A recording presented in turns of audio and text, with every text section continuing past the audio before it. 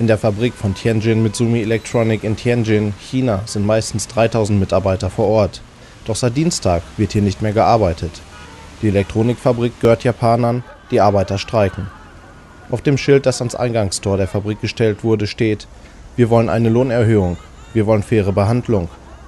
Dieser Streik folgt Streiks in anderen Fabriken ausländischer Eigentümer in China, einschließlich Fabriken, die von Honda und Toyota betrieben werden die Arbeiter fordern höhere Löhne und bessere Bedingungen.